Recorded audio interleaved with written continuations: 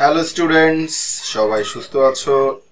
এই প্রত্যাশায় আজকে প্রণয়নের একটি ক্লাস নিয়ে এসেছি। তোমরা জানো, এইচএসসি ইংলিশ, ইংলিশে প্রণয়ন রেফারেন্সিং নামে একটি চ্যাপ্টার রয়েছে। যে চ্যাপ্টারটি মোটামুটি একটু জটিল, তো এই প্রণয়ন রেফারেন্সিং সম্পর্কে জানতে হলে আমাদের প্রথমে জানতে হবে প্রণয়ন অ্যান্ড ইটস ক্লাসিফিকেশন কোন প্রোনাউনটা কি ধরনের কাজ করে সেই ব্যাপারে না জানলে আমরা কিন্তু প্রোনাউন রেফারেন্সিং করতে পারব না। তো সেই নিমিত্তেই আমরা আজকে প্রোনাউনের ইন্ট্রোডাকশন নিয়ে এসেছি।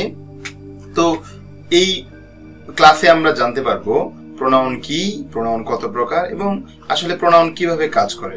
তো লেটস গেট স্টার্টেড আমাদের প্রথমেই প্রশ্ন আসতে পারে হোয়াট ইজ প্রোনাউন প্রোনাউনটা আসলে কি কাজে লাগে? আসলে প্রোনাউনটা অনেক কাজে লাগে।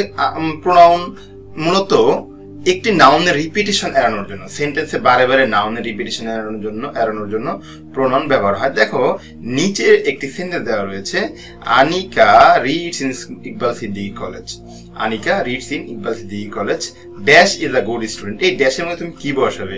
আবার আনিকা বসাবে নাকি সি বসাবে? তুমি নিশ্চয়ই এখানে সি বসাবে। তুমি এখানে আবার আনিকা বসাবে না, কারণ আনিকা একবার বলা হয়েছে। তো এবার যদি এখানে যদি আমরা আবার আনিকা বসাতাম, তাহলে সেন্টেন্সটাতে এই নাউনটা রিপিটেশন হতো। তো অ্যাকচুয়ালি এখানে নাউনটা না হয়ে তার প্রোনাউন হয়। এই যে নাউনের পরিবর্তে যে ওয়ার্ডটা এখানে ব্যবহৃত হচ্ছে, সেটাই হচ্ছে প্রোনাউন এই জন্য এইখানে প্রোনাউনের সংজ্ঞায় বলা হয়েছে, এই pronoun takes the place of noun R pronoun একটা প্রোনাউন আরেকটা প্রোনাউনেরও জায়গা নিতে পারে। তো এখানে আরেকটা, এই এই প্যারাগ্রাফের মধ্যে আরেকটা ক্লাস রাখা হয়েছে। Dash mom is a teacher dash car mom Anika's mom না আনিকাস মম তুমি আনিকা একবার বলেছ, তুমি এখানে হার মম বলেই হবে। এইখানে আনিকাসের বলে তুমি হার মম ইউজ করছ। এখানে নাউনের পরিবর্তে তুমি প্রোনাউন ইউজ করছ। অফ দিস অথবা ইকবাল সিদ্দিকি কলেজ তুমি কি লিখবে এখানে? একবার ইকবাল সিদ্দিকি কলেজ লিখেছ, তো এই নাউনটার পরিবর্তে তুমি এখানে ইকবাল সিদ্দিকি না নিয়ে দিস কলেজ বা দ্যাট কলেজ ব্যবহার করতে পারো। তো এই যে নাউনের পরিবর্তে, এই যে নাউনের পরিবর্তে আমরা যে অন্য ওয়ার্ডগুলি ব্যবহার করছি, এগুলাই হচ্ছে প্রোনাউন প্রোনাউন দেখো তুমি কোথাও ব্যবহার করছ, হার, কোথাও ব্যবহার করছ সি কোথাও ব্যবহার করছ দিস তো অ্যাকচুয়ালি আমরা এই যে ভ্যারিয়েশন এই ভ্যারিয়েশন থেকে যা বুঝতে পারলাম সেটা হচ্ছে প্রোনাউন হ্যাজ ইটস ক্লাসিফিকেশন তো প্রোনাউন আসলে কত প্রকারের হয়ে থাকে? প্রোনাউন আট প্রকারের হয়ে থাকে। সেগুলো personal interrogative indefinite demonstrative distributive relative reflexive and reciprocal pronoun তো এই যে আট প্রকার প্রোনাউন আমরা চলো এই ব্যাপারে একটু আলোচনা করে আসি। কোন প্রোনাউনটা কি রকম? আমরা প্রথমে নিয়ে এসেছি পার্সোনাল প্রোনাউন পার্সন শব্দ থেকে তুমি বুঝতে পারছ, এগুলি কোনো ব্যক্তিকেই বোঝায়। আসলে কি পার্সোনাল প্রোনাউন শুধুমাত্র ব্যক্তিকেই বোঝায়? না পার্সোনাল প্রোনাউন শুধুমাত্র ব্যক্তিকেই বোঝায় না, বরং first person second person third person এই ধরনের পার্সনকে বোঝায়। এই ধরনের পার্সনে কিন্তু অ্যানিমেল এবং অবজেক্টও ব্যবহৃত হতে পারে। সুতরাং পার্সোনাল প্রোনাউনে এমন পার্সোনাল প্রোনাউন বলতে পার্সন অ্যানিমেল এবং অবজেক্টের পরিবর্তে যে প্রোনাউনগুলি ব্যবহৃত হয়ে থাকে, সেই প্রোনাউনগুলোকে বোঝাবে। যেমন ধরো I you we he I কার পরিবর্তে? আমার পরিবর্তে। ইমু, আমার পরিবর্তে আই ব্যবহার হচ্ছে ইউ তোমার পরিবর্তে। যেমন ধরো, আমি কথা বলছি চৈতির সাথে। সেই ক্ষেত্রে, চৈতির ক্ষেত্রে ইউ হচ্ছে। তারপর উই হি সি পার্সোনাল প্রোনাউনের অবজেক্টিভ ফর্ম হতে পারে। পসেসিভ ফর্ম হতে পারে। আমি এখানে অবজেক্টিভ ফর্ম দিয়েছি। এই পার্সোনাল প্রোনাউনটি যদি অবজেক্টে ব্যবহৃত হয় সেই ক্ষেত্রে এখানে মি ব্যবহৃত হবে। পার্সোনাল প্রোনাউনের পরে আমরা চলে এসেছি ইন্টারোগেটিভ প্রোনাউনে তোমরা অনেক সময় দেখে থাকবে ইন্টারোগেটিভ সেন্টেন্স শুরু হয়েছে হো হোম হুইচ হোয়াট এইসব ওয়ার্ড দিয়ে। আবার কখনো কখনো দেখবে ইন্টারোগেটিভ সেন্টেন্স শুরু হয়েছে কোনো কিছু দিয়ে না, শুধুমাত্র সাহায্যকারী ভাব দিয়ে। তো এই যে ইন্টারোগেটিভ সেন্টেন্সগুলিতে হো হোয়াট হুইচ ব্যবহৃত হচ্ছে এগুলি হচ্ছে interrogative pronoun interrogative pronouns are the questions words are mainly starts with either W or H or both W H আমি মোদ্দা কথাই বলতে পারি ডাব্লিউএইচ ওয়ার্ডগুলি হচ্ছে ইন্টারোগেটিভ প্রোনাউন আমরা এরপরে চলে এসেছি ইনডেফিনিট প্রোনাউন মানে অনির্দিষ্ট প্রোনাউন এই প্রোনাউনটা অনির্দিষ্ট, কাকে বোঝানো হচ্ছে? আসলে মূলত এখানে তা নির্দিষ্ট থাকে না। স্পেসিফিক করা ছাড়া, কাউকে নির্দিষ্টকরণ ছাড়া যদি কোনো ব্যবহৃত, কোনো প্রোনাউন ব্যবহৃত হয়, সেই ক্ষেত্রে এখানে ব্যবহার হয় হচ্ছে ইনডেফিনিট প্রোনাউন এনার এক্সাম্পল দেওয়া হয়েছে হ্যাভ নাথিং ফর ব্রেকফাস্ট আমার ব্রেকফাস্ট খাওয়ার জন্য কিছুই ছিল না। তাহলে কিছুই নাই। এখানে নাথিং শব্দটা কি নাই? কিসের মধ্যে কি নাই? কিছুই এখানে ডেফিনেট করা হয় নাই। আই নিড ফাইন্ড সামথিং কি? সামথিং মানে হচ্ছে কিছু। কিছু আমাকে খুঁজতে হবে। কি খুঁজতে হবে? কলম? খাতা? টাকা কিছুই আমি এখানে ডেফিনেট করি নাই। এনিথিং উড বি ওকে যে কোনো কিছুই হলেই হলো।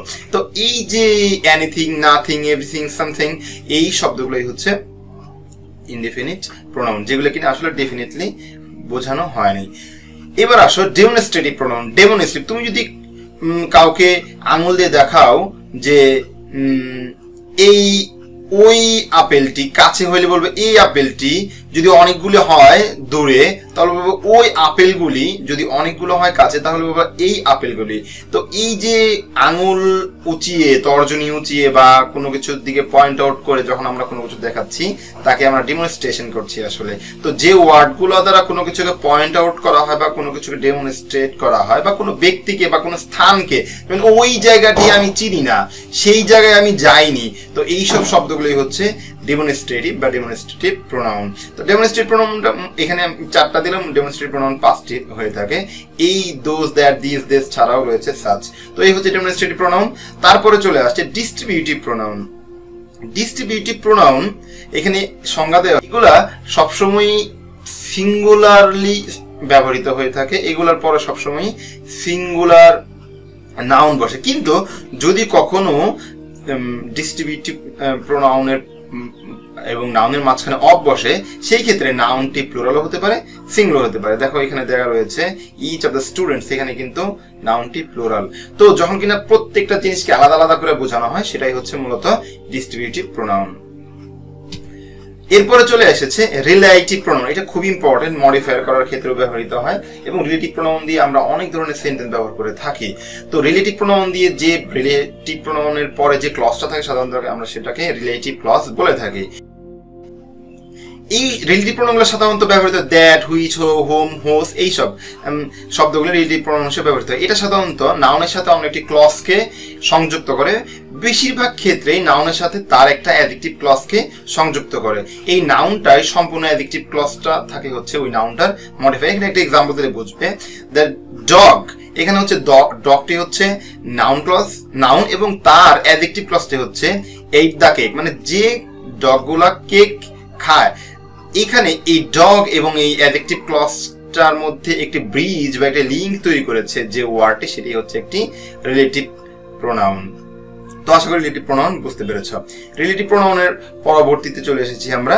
রিফ্লেক্সিভ প্রোনাউনের ক্ষেত্রে খুবই ইম্পর্টেন্ট একটি প্রোনাউন এটি। এবং আমাদের প্রোনাউন রেফারেন্সিং এ অনেক বার ব্যবহৃত হয় এই রিফ্লেক্সিভ প্রোনাউন রিফ্লেক্সিভ প্রোনাউন আসলে কি? রিফ্লেক্সিভ প্রোনাউন হচ্ছে মূলত একটি অবজেক্ট এটি কোনো সাবজেক্ট হিসেবে কখনো রিফ্লেক্সিভ প্রোনাউন ব্যবহৃত হয় না। আমরা যদি কোনো ফাঁকা ঘরে গিয়ে কথা বলি, তাহলে সেই ফাঁকা ঘরে আমার কথা রিফ্লেকশন আসবে, ওই প্রতিধ্বনিটাই আসবে। তো কোনো কিছুর প্রতিধ্বনি বা একই জিনিস আবার ফেরত আসাকেই মূল- মূলত রিফ্লেকশন বলে। তো তুমি সাবজেক্টে যে শব্দটি ব্যবহার করেছ, সেই শব্দটি যদি আবার অবজেক্টে ব্যবহার করে থাকো, তাহলে কি? সাবজেক্ট অবজেক্টটি সাবজেক্ট হয়ে ফেরত আসলো।